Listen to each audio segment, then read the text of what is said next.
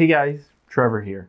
And in this video, I'm going to show you how to fix the Instagram checkpoint required error on Instagram.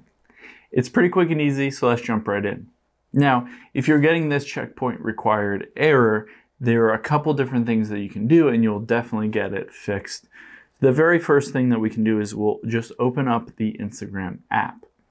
Now, once you're here, we'll tap on the Instagram profile icon at the bottom right here, and then the three lines at the very top right. And then we'll tap on settings, the very first option. And then what we'll want to do is towards the bottom there, you can see account, we'll tap on account. And then the very first one, personal information, we'll tap on that. Now this will enter or pull up your personal information.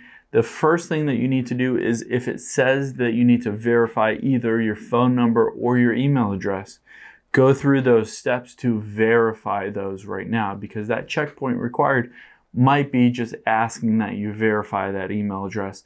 They'll email you a code that you then have to enter in and you can verify that it actually is your email address and phone number that you're using. So go through the steps to verify those things here. Now the next thing that we'll do is we'll hop out of Instagram and we will open up our settings here. And we'll scroll down until we get to general and tap on general.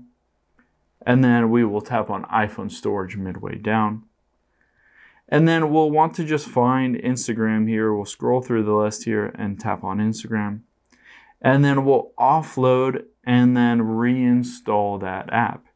We'll reinstall it. This doesn't delete any of your information, your login, your DMs, your drafts, any of that, but it refreshes all of the app core files. And if there's a glitch or a bug in the Instagram app that's causing this checkpoint required, that offloading it and reinstalling it should get it fixed then you can just open up the Instagram app and you shouldn't have any other issues with that checkpoint required error. Hope this helps. Thanks for your time today, and I'll see you on the next one.